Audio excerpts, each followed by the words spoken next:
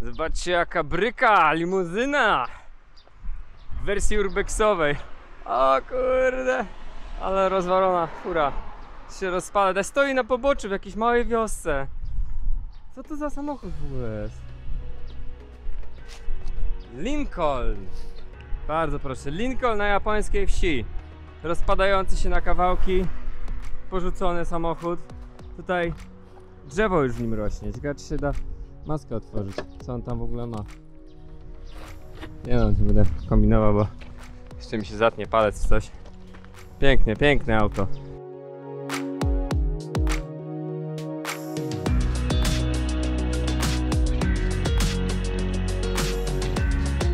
Ale górki dzisiaj będą. Co do Amano Hashida to hardcore. Z tej góry, przez całą prefekturę Hyogo.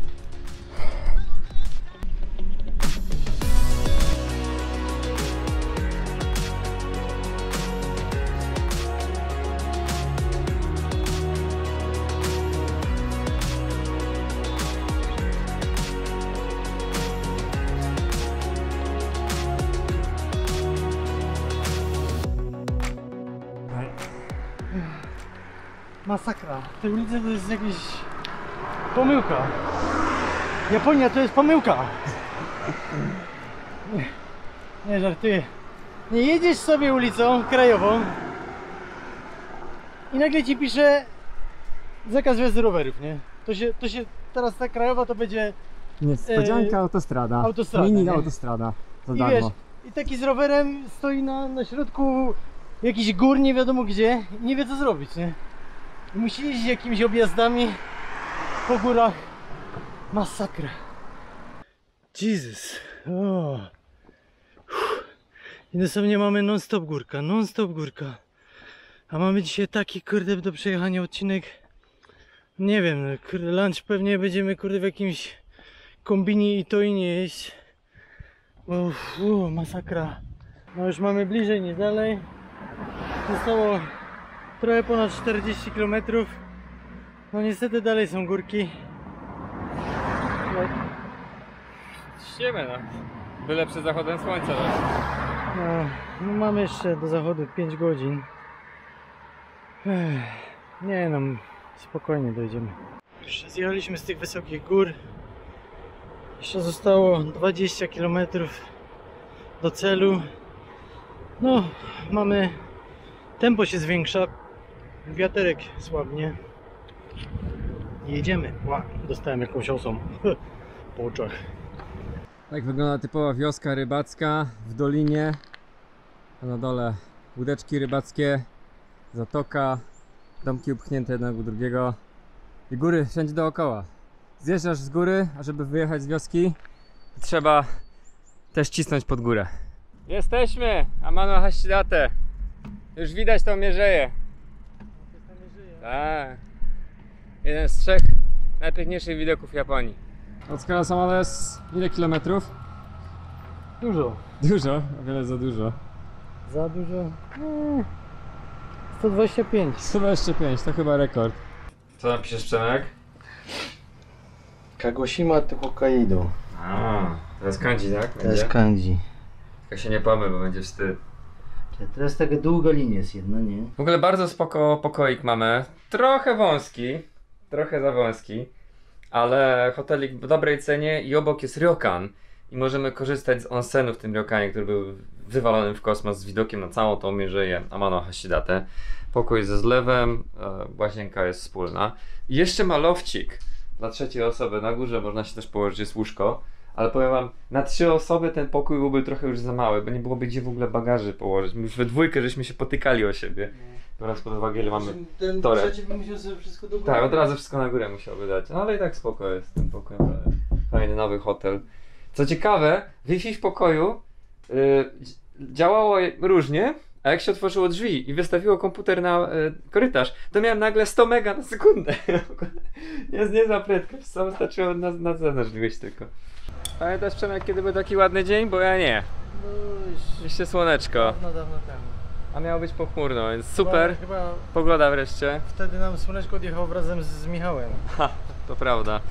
E, Idziemy teraz na pocztę wysłać kilkaset pocztówek do wszystkich, którzy wsparli e, naszą wyprawę oraz zakup kampera. Mamy ich bardzo dużo. Prawdopodobnie gdy teraz oglądacie ten odcinek, to też jeszcze są pocztówki do zakupienia. Zapraszam do sklepiku. A dzięki za wsparcie, to bardzo, bardzo pomogło w organizacji tej wyprawy. Pocztówki są piękne, kupujcie. Mam nadzieję, że Wam się spodobają. Typowe japońskie przygotowanie do wyprawy. Sprawdzałem wszystko. Lampka Joś, kask Joś, powietrze Joś, bagaże Joś, Przemek Joś, koło Joś, wszystko Joś. Jedziemy. Spójrzcie jaka czysta woda tutaj jest. Coś pięknego. A tam jest ta mierzeja Amano Hashidate. Ona się ciągnie na drugą stronę zatoki. Tam jest piękny las. Zaraz tam pojedziemy. Dzisiaj się pochillujemy trochę na plaży też. Trzeba odpocząć. Na razie rozumiem tutaj chill. Chill time. Odcinek nie sponsorowany przez Coca-Colę. Wbijamy, słuchajcie, jest nie wiem ich tych, tyle tych pocztówek, a jeszcze mamy drugie tyle do wypisania. Ale pierwsza partia musi już pójść. E, e, Hagaki 送りたいんですけど、海外に。はい、ポーランド。ポーランド、はい。Cała ekipa przychodzi w pocztę trzeba pomagać. Wszyscy, pełna mobilizacja całego, całej poczty z liczą. 378 pocztówek na pierwszym rzucie. Będą mieli teraz co robić. Arigatou gozaimashita! Gam- Gambatte kudasai. Śmieje się. Śmieje się. Kierownik poczty śmieje się. No. Nie wiedziałem, że ten most się obraca. Jak stateczki przypływają większe, to on się obraca. To jest most już na tą mierzeję bezpośrednio, ale jaja. Super. O, jest deli łańcuch, most już ustawiony. Mm. Statek jechał, to się przekręcił. Most, fajny. Jeżdżamy na mierzeję Amano Hashidate. Właśnie znajdujemy się w Amano Hashidate przy sławnej mierzei. To jest jeden z najpiękniejszych widoków, uznawany za jeden z najpiękniejszych widoków w Japonii. Jest trzech Trzech. obok. Miyajimy i Matsushimy.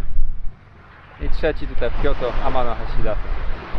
Ta mierzeja ciągnie się na ponad 3 km i łączy wybrzeże z tą zatoką e,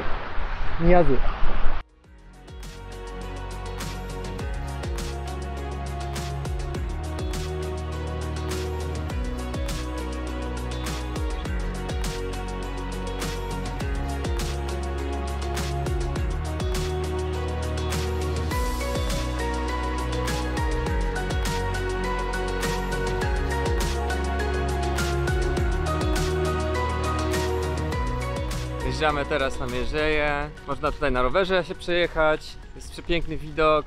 7000 ponad sosn tutaj rośnie. Sosnów, tak? Tak po śląsku się mówi. Bardzo, bardzo klimatyczne miejsce. Pięknie pachnie, jest cudowna plaża obok, można się zrelaksować. Super, naprawdę. Już drugi raz jestem, uwielbiam to miejsce.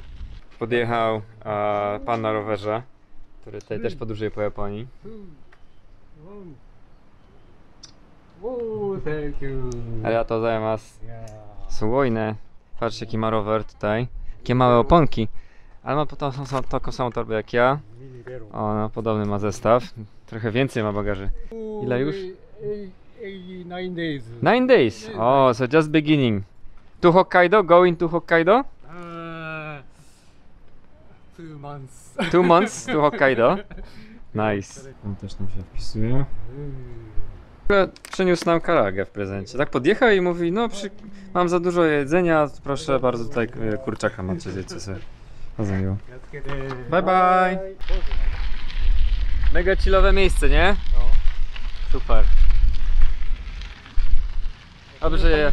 Na spacery z dziewczyną. No tutaj na spacer z dziewczyną to super, tak, bardzo romanciku. Jak się trochę ściemni, to jest pełno ławek dookoła. Zawsze możecie trochę gdzieś tam przyczaić się, trochę icia icia. Dzisiaj mam taki dzień wolny właśnie, odpoczywamy. Ja muszę przyznać, że lewe kolano mnie trochę zaczyna boleć. Czuję, szczególnie na podjazdach. Jak ciśniemy ciągle te podjazdy, których już mamy ile? 12 tysięcy kilometrów? Met- metrów? Bądź 12 tysięcy metrów. to mnie lewe kolano zaczyna troszkę boleć, więc e, dzisiaj na spokojnie odpoczywamy. Pojedziemy teraz do wioski rybackiej Ines, to przepiękna taka miejscowość nad morzem. Niezwykle fotogeniczna.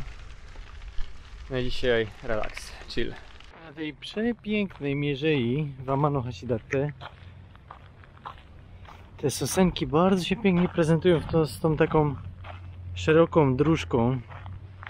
No, bardzo fajna miejscówka na spacery, na jogging.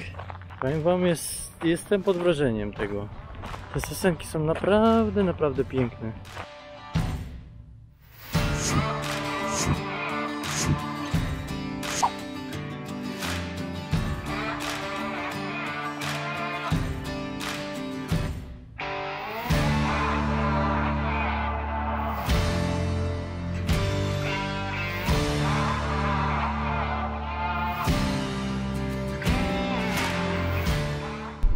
Trasa w kierunku wioski Ines jest naprawdę sceniczna, przepiękna. Już sama w sobie jest atrakcją. Zaledwie 15 km od Amano Hasidate. Można wypożyczyć rower z hotelu czy gdzieś tam z wypożyczalni i się przejechać. A gdzieś godzinkę wam zajmie.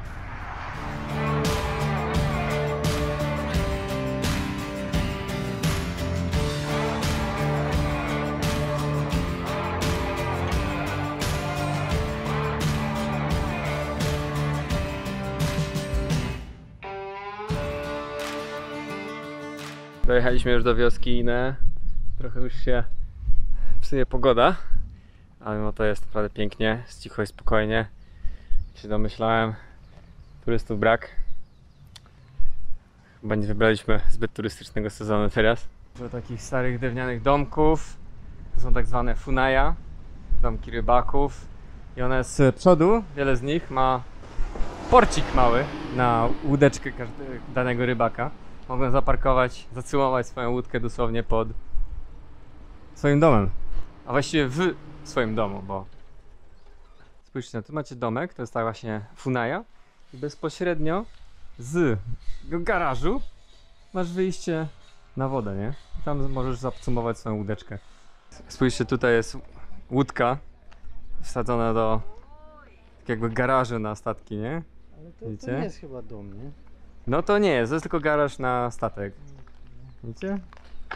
Ale inni mają praktycznie możliwość wciągnięcia do Patrz, ten- swojego domu Ten nawet. balkonik, nie? Kurczę, fajnie, nie?